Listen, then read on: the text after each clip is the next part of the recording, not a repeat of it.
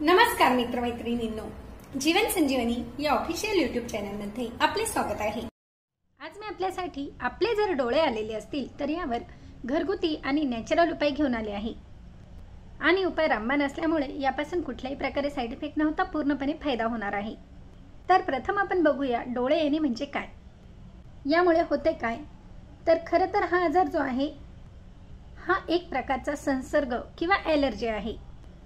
आणि या व्हायरसमुळे डोळे येतात आणि बॅक्टेरियाच्या किंवा व्हायरसच्या संपर्कामुळे जर डोळे आलेले असतील तर हे एका व्यक्तीकडून दुसऱ्या व्यक्तीकडे पसरतात. आणि पावसाळ्यात आर्द्रता वाढल्यामुळे ओलावा असल्यामुळे मोठ्या प्रमाणात हा संसर्ग जोर घेतो.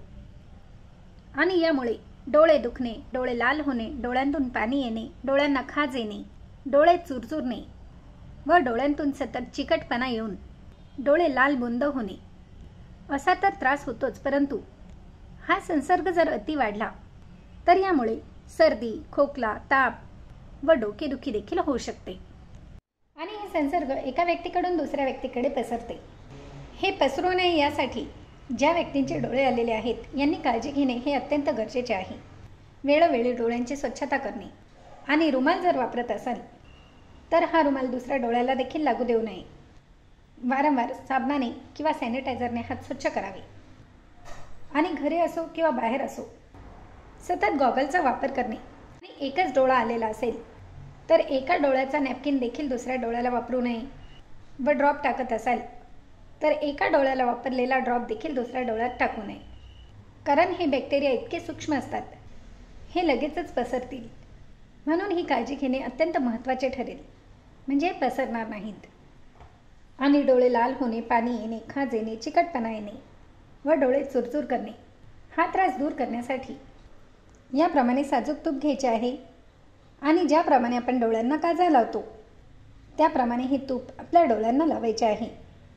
दिवसभरातून दोन ते तीन वेळेस हा उपाय करायचा आहे.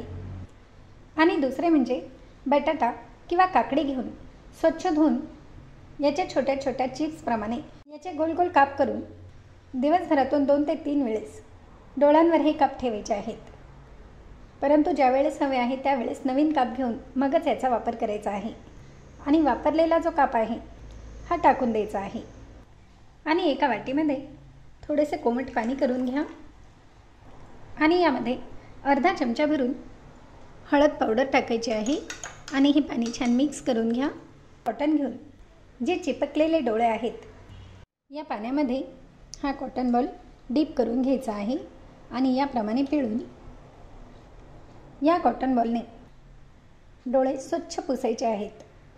परंतु डोळ्यांमध्ये हे पाणी जाऊ देऊ नये याकडे लक्ष द्यावे. याप्रमाणे जर जमत नसेल तर नॉर्मल कोमट पाण्याने देखील तुम्ही स्वच्छ करू शकतात. परंतु हळदीचे जे पाणी आहे यामुळे जे बॅक्टेरिया आहेत हे निघून जाण्यास मदत होते व डोळ्यांना लवकर आराम मिळतो. आणि याबरोबरच काकडी गाजर याचे ज्यूस प्या. किंवा जर तुमच्याकडे आवळ्याचे ज्यूस असेल तर तुम्ही आवळ्याचे ज्यूस पिऊ शकतात. किंवा रात्री अर्धा चमचा आवळा पावडर एक ग्लास पाण्यामध्ये टाका. हे छान मिक्स करून घ्या. आणि दहा ते पंधरा मिनिटानंतर हे गाळून घ्यायचे आहे. यामध्ये तुम्ही एक चमचा भरून मध टाकून पिलात तरी देखील चालेल किंवा असे पिलात तरी देखील चालेल.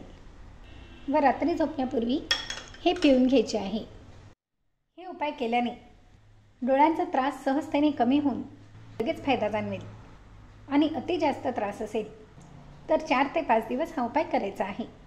यापैकी जे तुम्हाला आवडेल आणि जे सहजतेने करता येतील ते उपाय तुम्ही करू शकतात. आणि याबरोबरच डॉक्टरांच्या सल्ल्यानुसार आयड्रॉप घ्या आणि आयड्रॉपचा देखील वापर करा. म्हणजे सहजतेने सुटका होण्यास मदत होणार आहे. तर मग आहे की नाही अत्यंत साधे सोपे घरगुती नॅचरल उपाय? मग लाईक शेअर व सबस्क्राईब करायला विसरू नका. धन्यवाद.